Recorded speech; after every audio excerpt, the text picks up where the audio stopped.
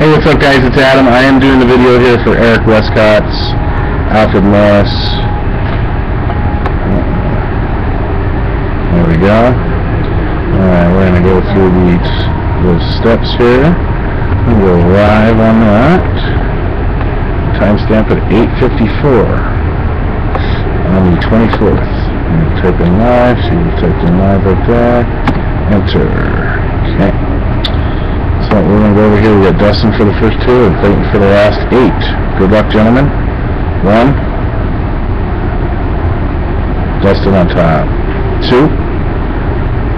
Clayton on top. Third and final time. Good luck, gents. Three. Congratulations, winner. Get in touch with Eric. 854. So we've gone three times. Congratulations.